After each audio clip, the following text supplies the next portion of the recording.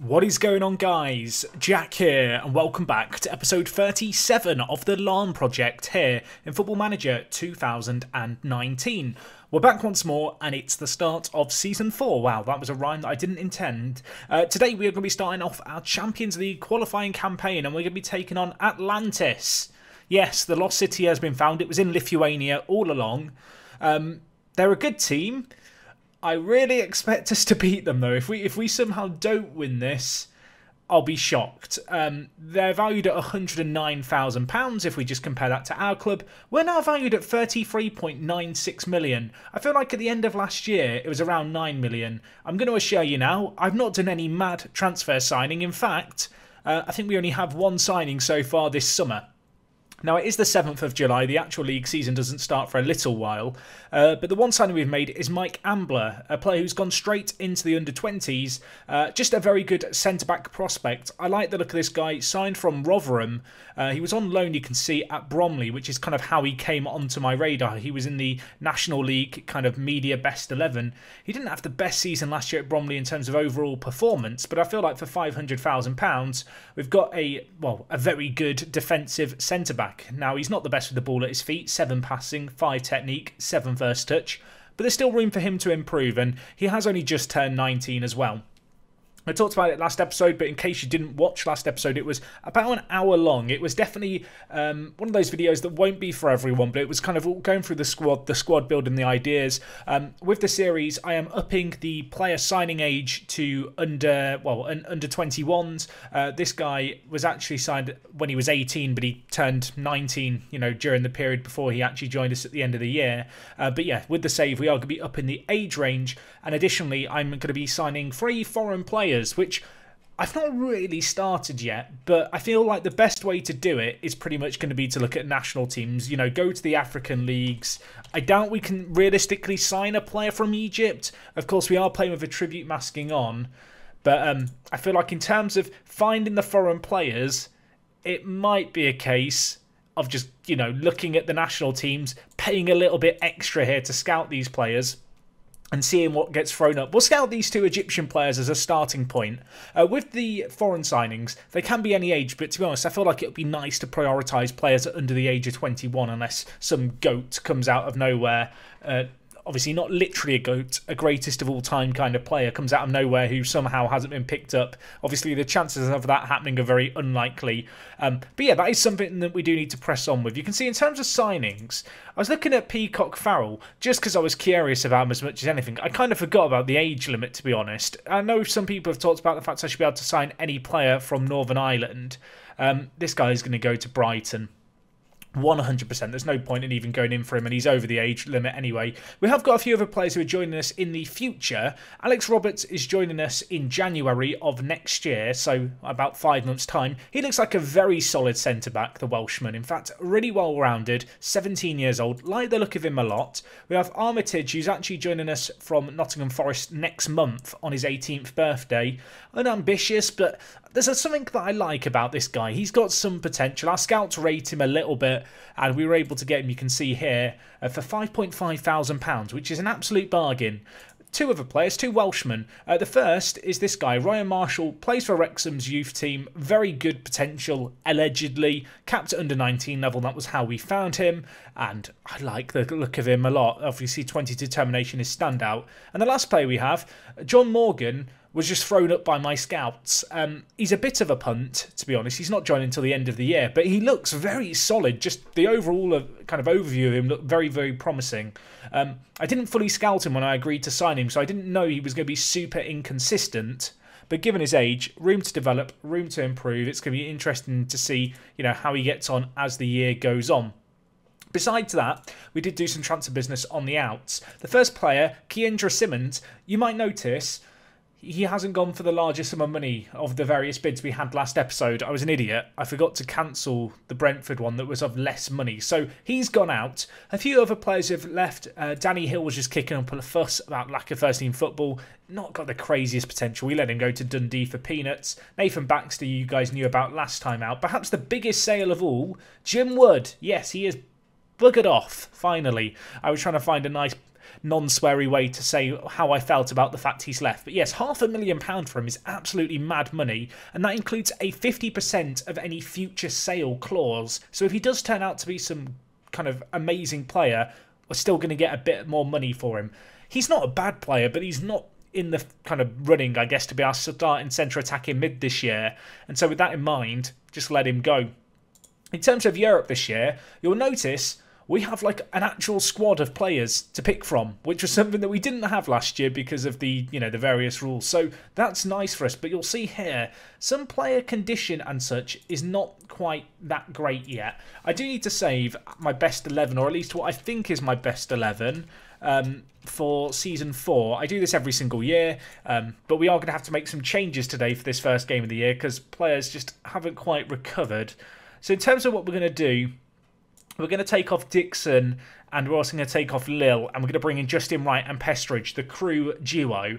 Um, the other players here, I feel like 88% condition is passable and 86 probably is as well. Jim Meister, oh, it's a little bit low for my liking. Um, I'll tell you what, we're going to bring in Simon Carlisle. Bit of a big moment for this guy, uh, but hopefully he can live up to the billing. Over the summer as well, just a few little bits of note. Paul O'Connor picked up his first international cap. Absolutely fantastic stuff for him. Hopefully that will be the first of many.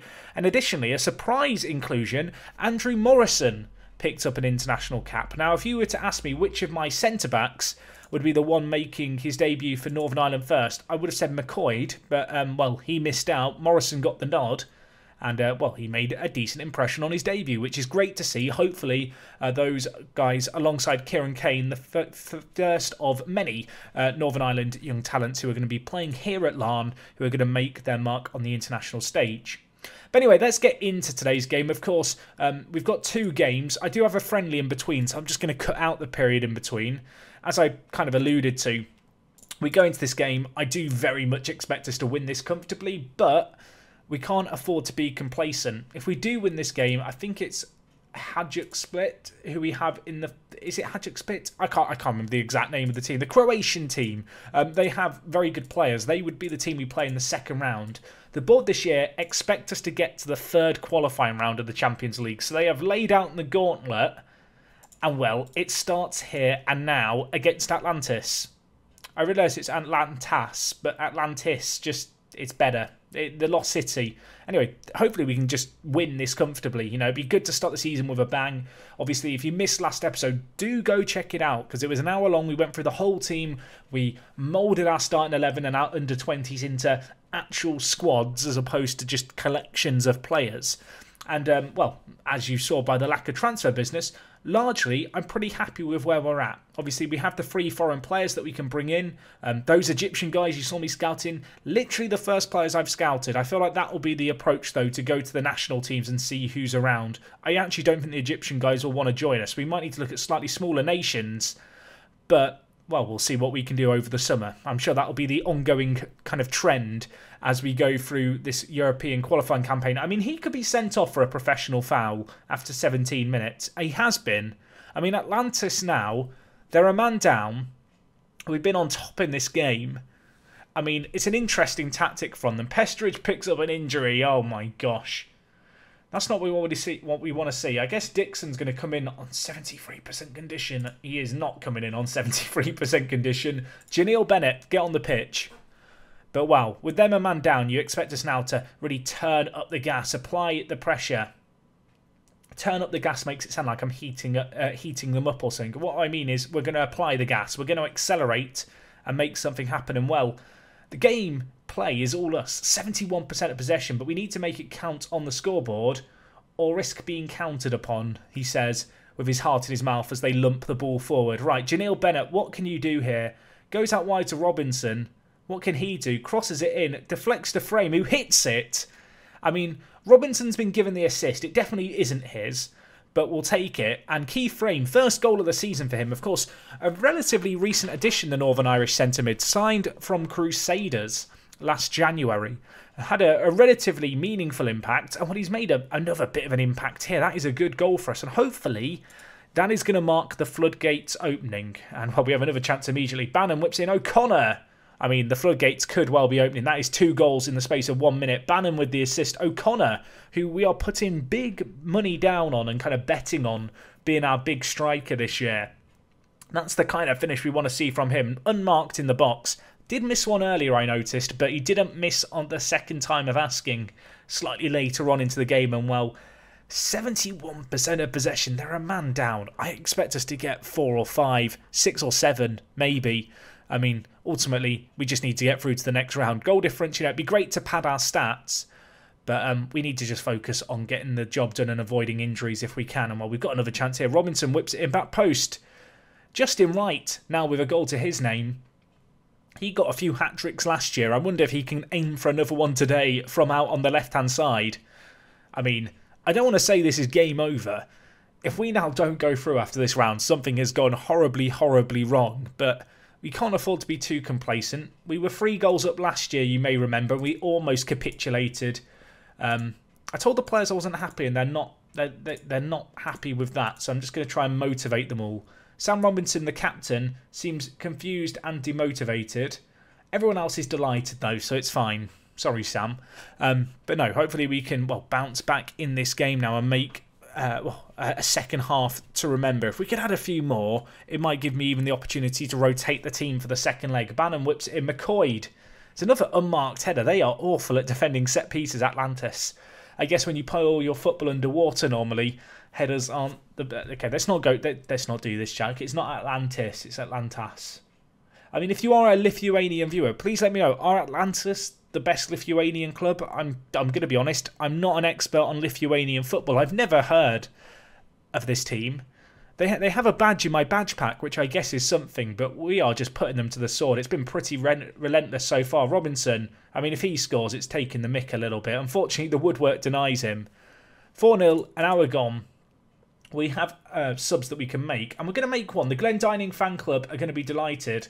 We're going to bring on Glendining uh, for Bannon, who is, well, he's booked, and we're also actually going to take off Keith Frame, who scored, because he's also booked. I don't want any sendings off or suspensions for the second leg, if we can avoid it. So we'll make the changes there and see what we can do. Janelle Bennett with the ball, whips it back post. Morrison's there. I mean, I can call him the Northern Ireland International now, Morrison, can't I? Or the Northern Irish International, not the Northern. I guess it is Northern Ireland as well. But we've got a few of those in our ranks. I'd love to get to a point where you know half the team is regulars in the national team first team. I feel like that's a little ambitious, but well, hopefully we can strive for that and see how we get on. I mean, it's the long term goal. Uh, short term, it feels a little ambitious, perhaps. So far, so good though. Here, just exactly what we wanted from the first leg. Um, if I was going to be overly critical on the players. I'd like a few more, and I'd also like to keep the clean sheet for the remainder of the game. Carlisle to right, who hits it. I mean, we said he wants his hat trick from the left. That is a thunderous effort by him there. Simon Carlisle with the assist, Justin Wright. I mean, he, he he's right to be uh, delighted with that. That was one hell of a strike by him. Hit with some power. Carlisle just lays it off to him, bang clean hit through the ball on his left peg. And well, the number 97, remember the name, gets another one to add to his ongoing collection of Larne FC goals. 75 minutes left. We've done all our subs. We're just kind of watching the rest of the game play out. If we could get to six or seven, I'd be I'd I'd say it's game over. I mean, at five it feels like it should be game over away from home. But well, can we add a few more? Right pulls it back to Carlisle, who got an assist earlier for Justin Wright. Now Justin Wright returns the favour. I mean, the kids, they're doing all right in this game. We can't get too carried away, but I'm going to enjoy it for what it is. Uh, and ultimately, it's just a very pleasing performance. Obviously, that professional foul early on kind of opened the floodgates just a little bit for us. But well, we've made the most of the opportunities that have come our way. We've not really squandered too many opportunities. Zero clear-cut chances, three half chances when you've had 35 shots, it's a little concerning to have that fewer clearly crafted opportunities, but at the same time, we've been lethal in front of goal. And 6 0, I mean, if we somehow bottle it now, everything's gone very, very wrong, hasn't it? I mean, lots of reasons to be happy with that performance right there, I feel like, going into the second game. Pesteridge out for three to four weeks. It could be worse, I guess. Um, an opportunity maybe to rotate the team there. Going into the, the second leg against Atlantas, which will be coming obviously in just a second. Anyway, guys, we're going to go forward a week. As I said, I might go and scout some national teams, just see if we can find some real talented players. Um, obviously, there's probably going to need to be a little bit of ongoing scouting on players to well, work out if they're actually good enough for our team. But if they're playing for the national team, they're probably a surefire bet. With those free foreign player limits, um, it's going to be interesting to see what we can do. I can't see us signing any Argentinian or Brazilian regens, but we'll have a hunt around. We'll see what nations uh, have players who might be of interest to us. And well, uh, I will see you guys in a week where we may or may not have a few new faces. I feel like that might be a little bit soon. But well, we'll go into the second leg and hopefully with a, a fully rotated team, I think now be able to come out the other side with another convincing victory. Okay, folks, so we're back here for the second leg against Atlantis. Pretty much wrapped up, which is great to say. Um, since you were last here, I did start doing our international scouting, yes. Um, I went through a lot of teams and nations and putting a few bids on players as well, and I've quickly realised I'm significantly overestimating the players that we can sign. Um, we actually have bids accepted on these Tunisian players who are Tunisian internationals. There's some pretty big teams interested in them. Um, they they don't want to talk to us. Um, similar story, I think, is going to be the case with these Costa Ricans. I've actually just put in a bid on Sergio Luna. Um, I'm continuing to scout these players, but at least just at a glance, this guy looks pretty solid at the age of 18. Um, with these players, I guess we're not really looking necessarily for a specific position, more just players with pure star potential, the kind of players that, if they were British, we'd have no hope in hell of signing. Um, in terms of just other weird players. This guy playing in Morocco looks pretty good as a right back as well, could be interesting. And uh, there's one player from Botswana. Well, you can see here we've got a Namib- Namib- Namibian. That's a difficult word to say for some reason. Who my scouts aren't the biggest fan of, but this guy, Mohamed Idris, they love. So, Mohamed, you're getting another scout. We're continuing to look into him uh, with these players. They are all just internationals who we have scouted out. You can see with this guy. Um, maybe has a load of potentially 16 years old, Botswanan international. We'll, see. We'll see. I feel like with these players, um, they're probably going to end up being rubbish, and I'm going to go back to the drawing board on them. Anyway, going into today's game, I said I wanted to rotate the starting 11 a bit, and I think that is exactly what we're going to do. So the easiest way to do this is just to rest our normal starting 11, press quick pick, and it will just completely rotate the whole team uh, except actually Jared Thompson, because we still only have two goalkeepers in our team, and Cockbill is out injured again. He was out injured actually at the end of last year, came back, suffered a hernia, so, uh, well, not available to start this season either, which is not exactly ideal, but we'll try and deal with it. But yeah, fully rotated team here. Interesting that they want to play Matt Walker as a striker. Not so keen on that myself. Um, I'll tell you what, will play O'Connor as a striker to help inflate his goal scoring tally. You'll notice here Glatzel is not at the club currently. He's on trial at Crystal Palace. Um, obviously, Glatzel is a good player, but I don't feel like he's irreplaceable. So I've offered him on trial to Palace for a week. They came in and asked for it. We'll see what kind of money they may be willing to offer if he impresses on his trial. But, uh, well, that's something to consider, I guess, going forward into the future. Anyway, let's get into today's game. Lots of pressure on us, not. Uh, uh, we'll see how we get on. I'm not usually a sarcastic person, but apparently I've been watching too much Borat and learning the not jokes because uh, we have rotated the team here. It is an unusual team. I mean, you look through it here. Janelle Bennett plays. Dixon, I guess, didn't play last game. Um, there's a few players who do appear here who maybe are first team players, but well, given the fact we won the first leg 6 0, there's no pressure on us here. Um, I can get a martini out, sit on the sideline, and just enjoy this second half for what it is. I imagine they're going to probably park the bus um, and just try and keep things, I guess, pr- uh, proud and well, not try and screw up. I doubt they're coming into this game, you know, with the Burton Albion approach of we're going to turn around the goal deficit. Uh, of course, that game last night, Man City v Burton didn't happen unfortunately. I was I was hoping for the for the 10 0 or the 9 0 an extra time win, but it didn't quite materialise. Uh, I feel like here it's not going to finish 6 0 to them. It, it, something would go horribly, horribly wrong if that was the case. And while we're on the attack here, Sobo Whale, deflected shot against the woodwork. Keeper holds on to it, but, well, a decent initial effort. And, well, we maybe have another chance here, actually. Sobo Whale, nice win. Now with Janelle Bennett. Back out with Sobo to Downey. Good to see Downey play, of course. Homegrown at Larne, kind of the first of our true academy produce.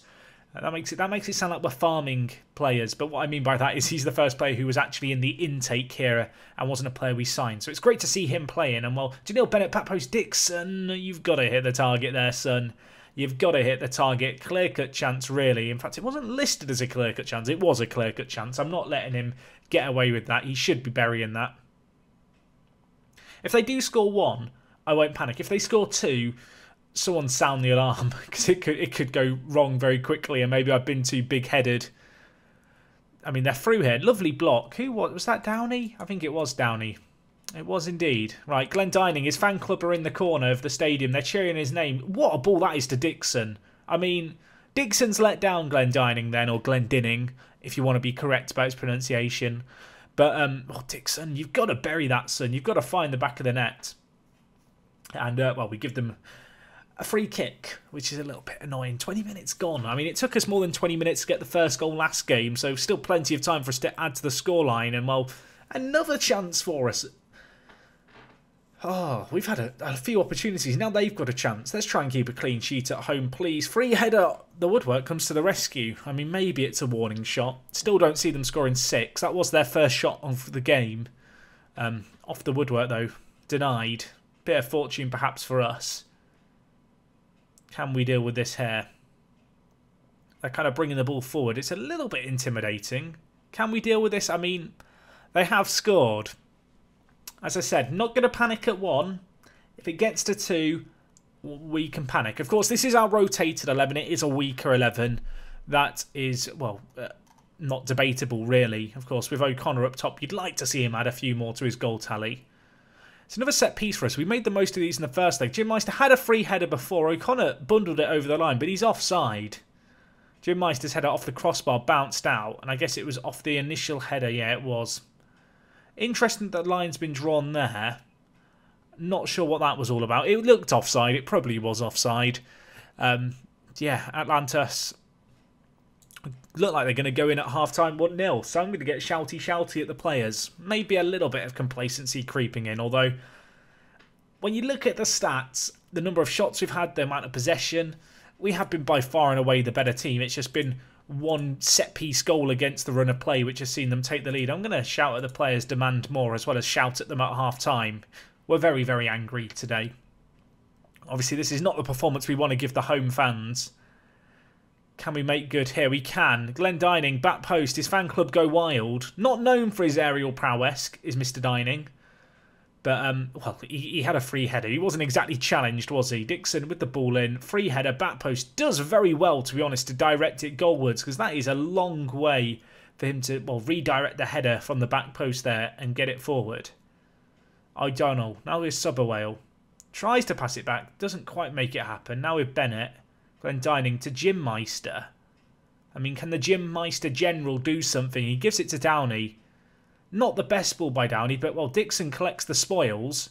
Gives it to O'Donnell, who has a go. I mean, Dixon with his second assist of the game from the right wing. Of course, his first was a corner, but the finish itself by O'Donnell, I mean, the assist is irrelevant. The finish is what has made that hit the back of the net.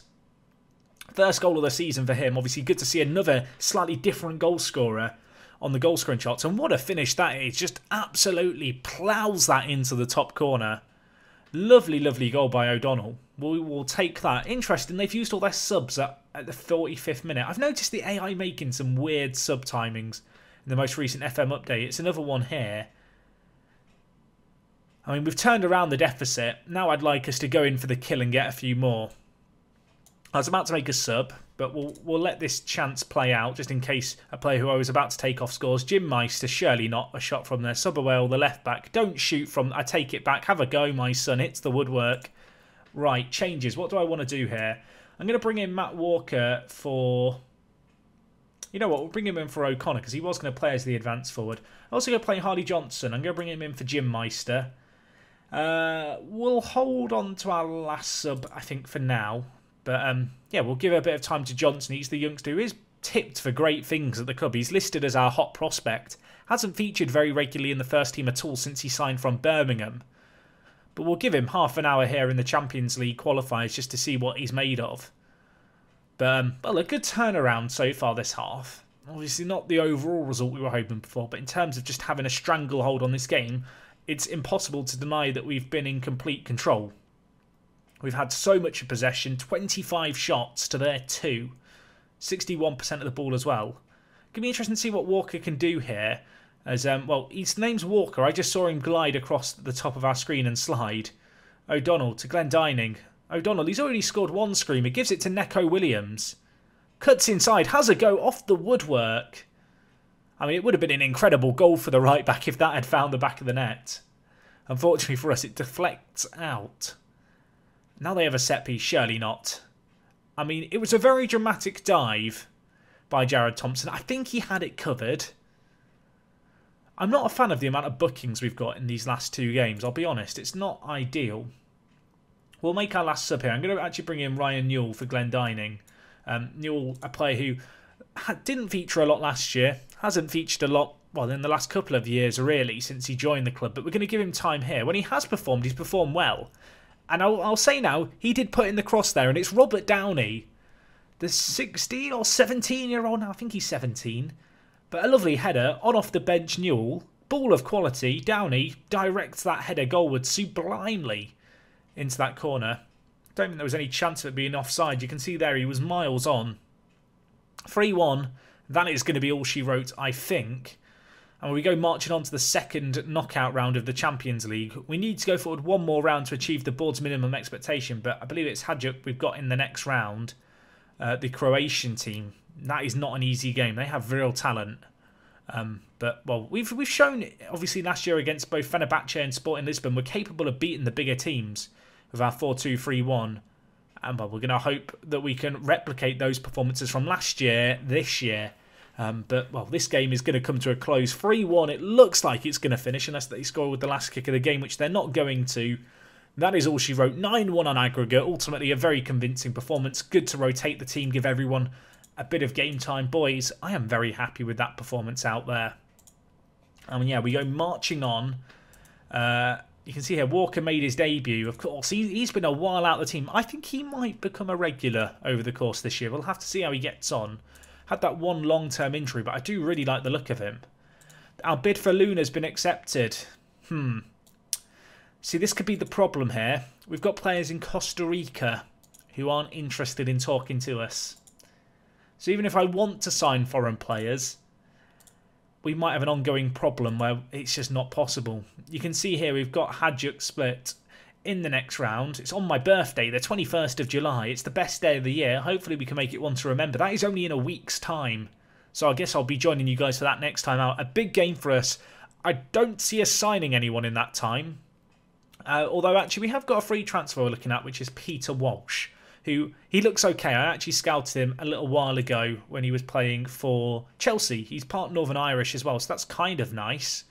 Um, so we'll have to see if he amounts to anything. He'd be a player for the under 20s, you know, more of a punt for the future. In terms of recent outs, you can just see here Brandon Oddie's gone out on loan, Romario Vieira's gone out on loan, Ian Robson's gone out on loan as well to get some regular first team football. Uh, a few of these slightly older players who have gone out on loan have the option to be bought by their club, so they may not even return, but we're getting them off the wage bill at the very least, which, well, if you look here, you can see we're currently spending £44,000 on wages, or 45000 Our wage budget is 93000 and we have 7 million transfer budget but I can't sign players from Costa Rica, so I don't know where that budget's going to end up being spent. Maybe we'll just get in a load of Botswana and regens. We'll have to see how things pan out, I guess. Anyway, guys, that is going to be all from me today. Good little performance to start the season. Very, very happy with that. Also, great to see just so many players within our first team now with one appearance next to their name already. Hopefully, that is something that we can keep going throughout this year with lots of rotation. And, uh, well, hopefully I will see you guys next time. It's going to be a lot more difficult than today's games. Hajduk split the opposition. And, uh, yeah, well, I will see you guys tomorrow.